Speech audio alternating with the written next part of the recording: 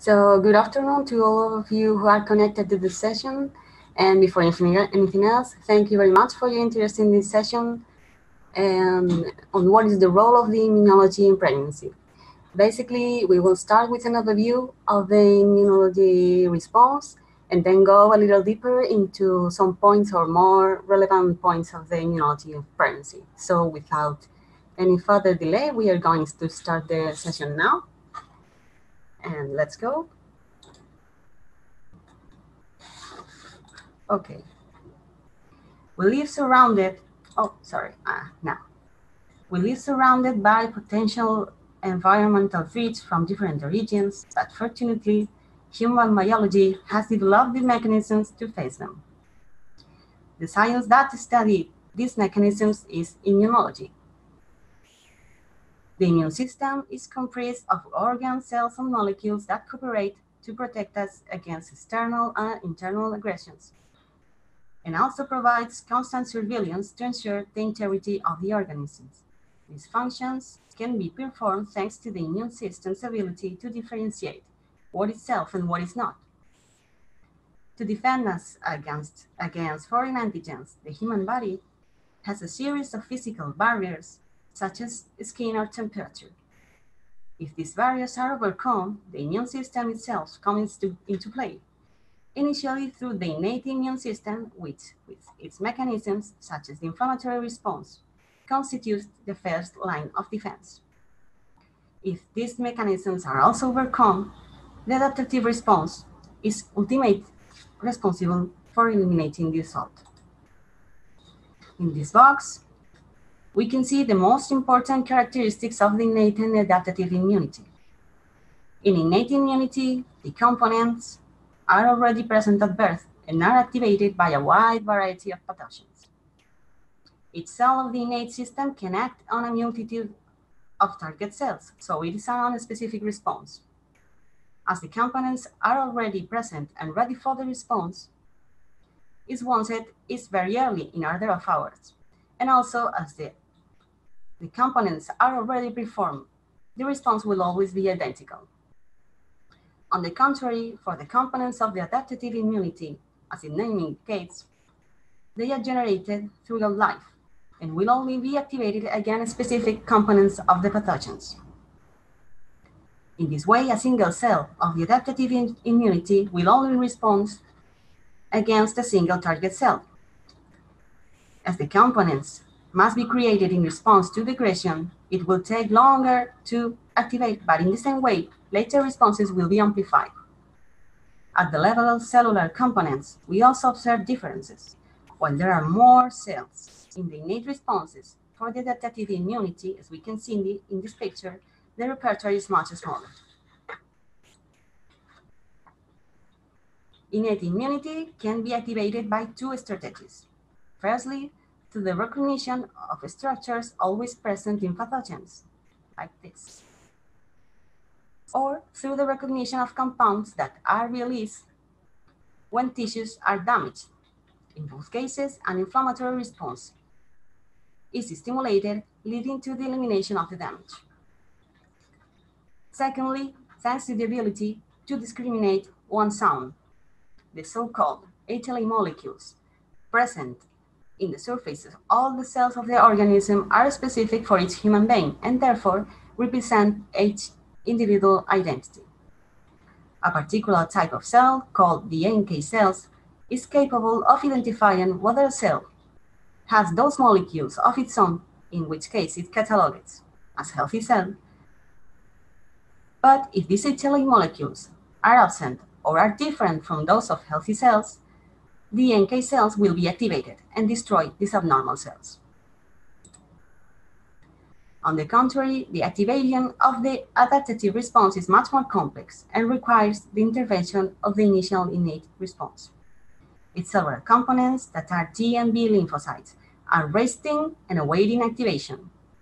The signal is provided by accessory cells of the innate immunity showing the fragment of the invading agent to which they have to respond. In this way, the adaptive response is educated to be specific only against the fragment of injury. We can find two types of T lymphocytes, the Th1 or helper cells, which are responsible for coordinating the subsequent adaptive response through the uh, release of soluble mediators. In turn, these, can, these Th cells can be of four types, depending on the environment that exists in the organism, the Th1, Th2, Th17, or Tregs. These cells will release another series of mediators that will exercise different functions. For example, the Th1 are responsible for mounting inflammatory response to pathogens that attack cells, such as viruses, or the Treg cells are responsible for blocking the immune response. The second type of T lymphocyte are the so-called cytotoxic cells, or TCs. These cells are involved in the direct destroy of the cell that carries the fragment that initially activated them. And finally, the B lymphocytes that produce the protein so-called antibodies that recognize and bind the fragment that initially activating them to physically neutralize the damage.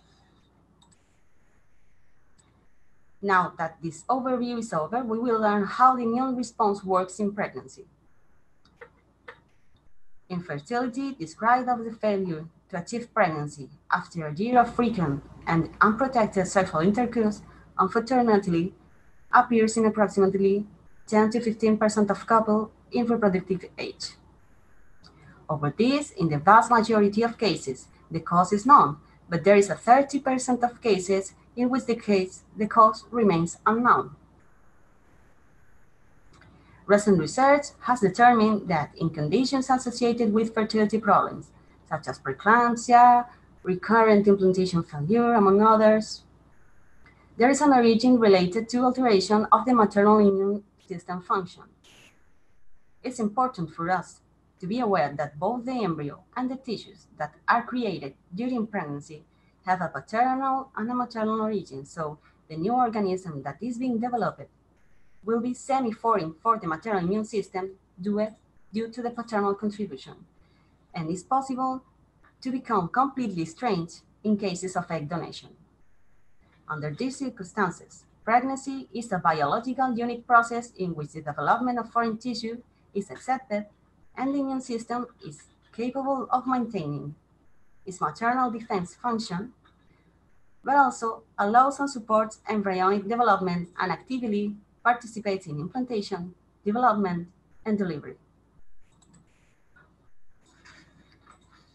The adaptation of the immune system to allow pregnancy before itself after conception, well, before conception, sorry, at certain points in the uterine cycle, so that each month will be prepared for a potential pregnancy. Due, the, due to the effect of sex hormones at different points of the menstrual cycle, the cells that make up the tissue where the implantation will take place, known as the endometrium, start to specialize. They acquire the ability to release soluble mediators responsible for attracting certain types of immune system cells to the implantation site. Furthermore, these hormones and the releasing mediators will work in other levels, such as the contribution to the maturation of the female reproductive cells repairing the changes in the tissue that occur during the cycle or eliminating the cellular remains generated in these changes. Also, after conception, they will present relevant functions for the proper development of the placenta and to ensure the postnatal health status of the offspring.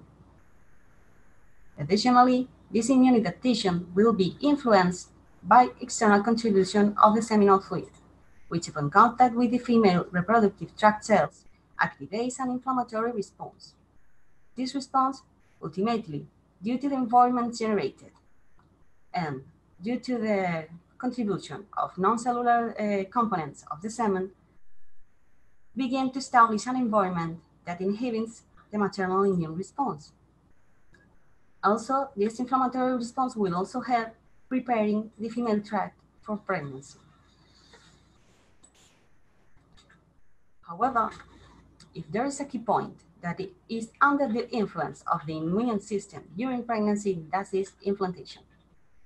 The immune system is critical for the development of the deciduum, a tissue that is generated as a result of embryonic implantation from the endometrium, which is the tissue where the implantation occurs, and which will later originate the placenta. The adaptation of the decidua supposes, first, the creation of an immunologically inactive or privileged environment, the restructuring to continue comforting the implantation, and in addition, a series of changes that allow the access of other cells of the immune system there. Overall, deciduous leukocytes are, are reprogrammed to support decidual development and to cope with the embryonic attachment. All this reprogramming will always lead to the inhibition of the immune response. As we see in this graph, initial activation of the immune system is necessary after conception and is quickly necessary to block the response and to keep it inactive for the virtually entire pregnancy until delivery. In this balance, we can see here, is represented the change of the initial inflammatory response mediated by Th1, Th17, and B lymphocytes that are responsible for the defense of the mother towards that environment of tolerance that protects and supports the development of the placenta and embryo mediately mostly by Tregs, Th2, and NK cells. These latter cells, the natural killer cells or NK cells, are the most abundant in the decidua and are completely different from their broad counterparts in relation to the physical appearance as we can see in this picture, but most importantly in their function. While in blood, they live up to their name and are responsible for the destruction of damaged cells in the decidua, they are responsible for the release of mediators. In addition, they are the population that most dramatically changes throughout the uterine cycle, reaching its maximum value in the cycle at the time of implantation, at this point of the cycle. These NK cells are waiting in a rest mode and their activation will depend, finally, on env environmental signals. This means that if the immune adaptation toward tolerance has not been initiated in the previous phases, they could acquire an inflammatory function with harmful effects for the pregnancy. The basic functions of these uterine NK cells are, first of all, to contribute to the generation of blood vessels that nourish the placenta. This function is crucial for the formation of the placenta and the consolidation of the early pregnancy. In fact, the altered production of mediators that activate these cells has been associated with unexplained infertility.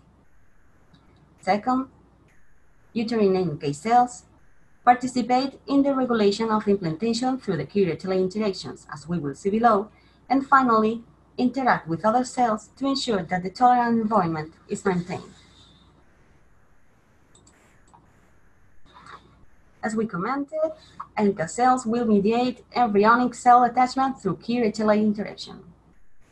KIR receptors are found on the surface of the NK cells and are able to identify foreign cells through HLA molecules, which represent its individual's identity. So there are two kinds of KIR receptors, ones that activate and others that block the NK cell's function. Moreover, their presence and number and function can be variable, but eventually, what really matters to us is the final combination of these receptors in the cell that allow us to group them into two types. KIR-AA, which blocks their response, and KIR-BX, which mediate their activation. In the embryo, NK cells interact with a particular type of HLA molecule, which is the HLA-C, inherited in 50% from each biological progenitor. These HLA-C molecules are also divided into two types, C1 and C2, for structural reasons. In these circumstances, the HLA-C molecules carried by the pregnant woman, like this one, will be considered as self, and any difference from these molecules will be identified as foreign and will lead to the engagement of the NK cells. Thus, when discrepancies in the HLA-C molecules exist between mother and the embryo, and the pregnant woman carries the BX profile of NK cells, in other words, activating KIRs, the development of the placental blood vessels is complete. Whereas when the pregnant woman has inhibitory profile of NK cells, in other words, blocking KIRs, the NK cells do not release the adequate amount of mediators. The creation of these vessels is not complete, and therefore the contribution of maternal flow to the placenta will be lower. For this reason, it is associated with conditions such as preeclampsia, recurrent discontinuous abortion, or intrauterine growth retardation. Other cells that also are relevant for the pregnancy are some different of uh, subtypes of T lymphocytes. As a whole, T lymphocytes account for the 10% of the residual cells, most of which are th those that are responsible for cell destruction or the so-called cytotoxic cells. However, the most important aspect of the T cells is the existence of a delicate balance within the different subpopulations that would allow a successful pregnancy. The Th1 and Th17 cells involved in the inflammatory response must be inhibited, as its increase would trigger a maternal immune system attack against the embryo. This situation has been described in cases, for example, of preterm birth or preeclampsia. The Th2, responsible for organizing uh, antibody-based responses, should be maintained. The increase of these cells leads in the long term to states of inflammation. In these circumstances, has been associated with recurrent pregnancy loss. Finally, the Tregs that are key to the generation of a tolerant environment should be promoted. The decline of these cells skews the balance toward inflammatory responses which has been associated with recurrent implantation failure or, or miscarriage, among other conditions. In fact, the semi-strange pregnancy will not be able to begin if there is not an adequate number of Treg cells in the uterus. Finally, the last uh, cell type involved, although indirectly, are the B lymphocytes, which, as we have already mentioned, are the producers of specific antibodies. There are two types of antibodies. Firstly, the named protectors, which are able to bind tightly to their target but do not trigger any response. These antibodies are responsible for neutralizing the proteins of paternal origin in the maternal fetal interface, which prevents uh, the maternal immune attack. They will also modulate the expression of the HLA molecules and therefore the ability of the NK cells to discriminate what is foreign. These types of antibodies have been found decreased in women with recurrent spontaneous abortion. The second type of antibodies are the autoantibodies that are generated by anomalies in the discrimination mechanisms of body self and are directed against normal structures of the organism. This pathological response will ultimately generate an inflammatory response and the indiscriminate production of autoreactive antibodies. As we can see in this table, we can see some examples of how the presence of uh, some autoantibodies, such as those recognized, those that recognize thyroid or, or ovarian structures, occur more frequently in women with problems of infertility. Immunological disorders are included within the causes of unknown origin and therefore should be considered when other more frequent causes have been excluded.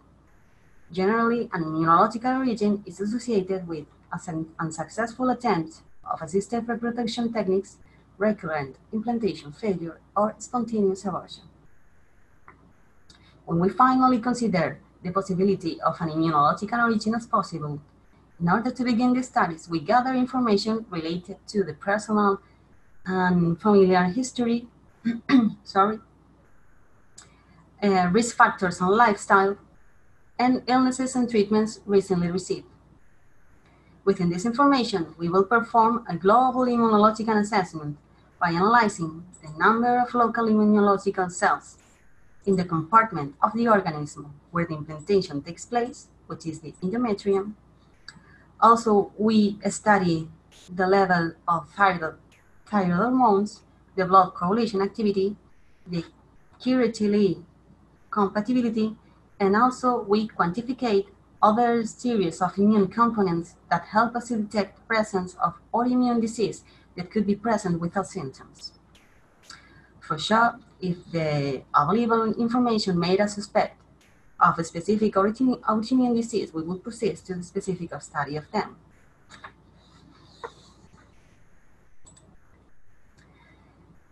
Because of their importance, we are going to spend some time on certain tests. The first of them consists of the evaluation of the lymphocyte subpopulations named IMAP.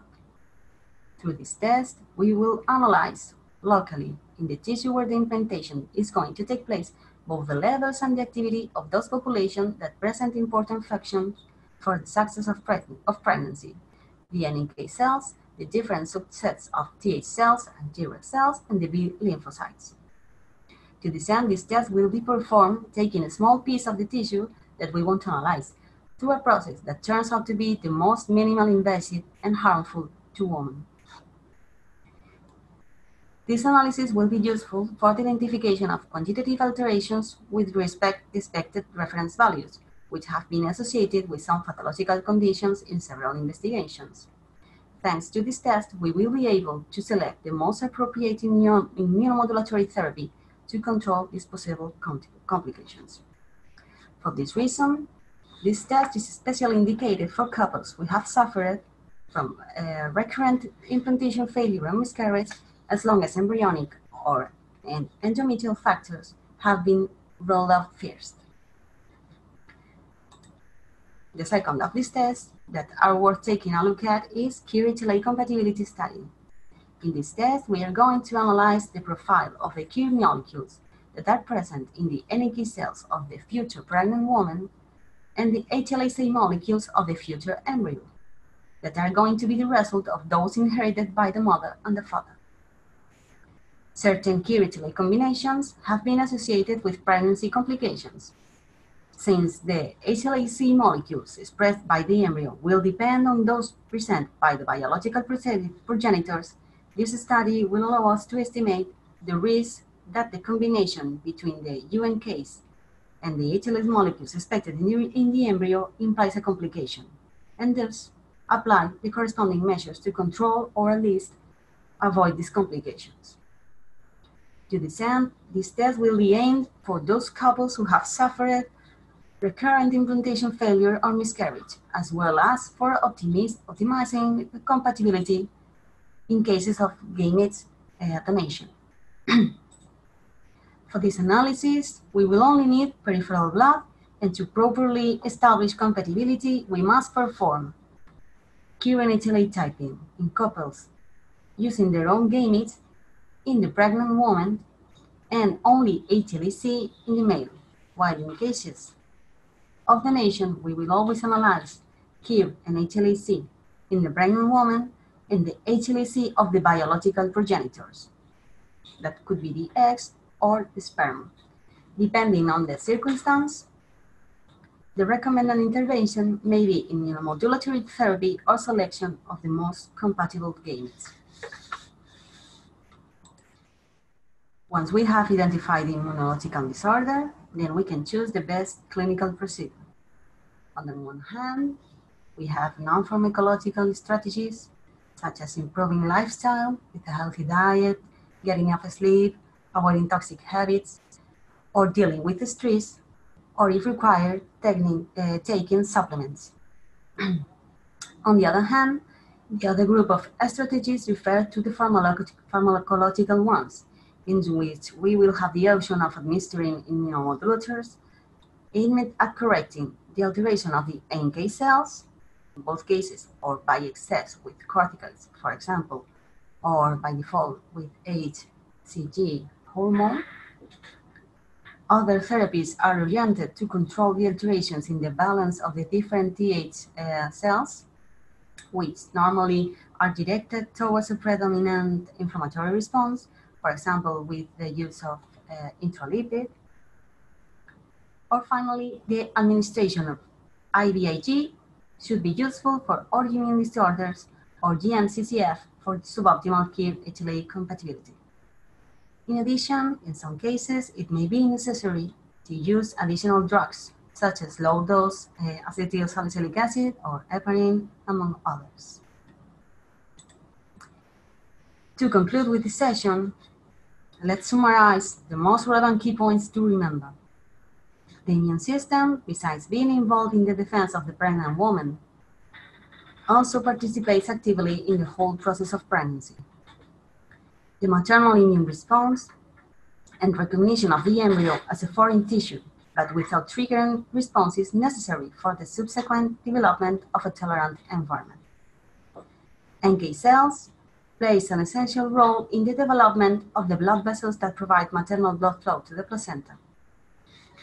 The state of tolerance requires the presence of the Tregs and the Th2 cells, which have a tolerance-oriented function, and the absence of uh, Th1 and Th17, which are associated with the activation of uh, inflammatory responses. The inadequate supply of proteins and the appearance of an inflammatory or autoimmune disorders can alter the immune balance, and this could favor the appearance of complications. And finally, laboratory diagnostic tests and therapies must be strictly directed towards the cause of the immune alteration. And well, with this slide, we have finished this talk, and we hope that it was useful, useful for you and live up to your expectations. And thank you very much for your attention.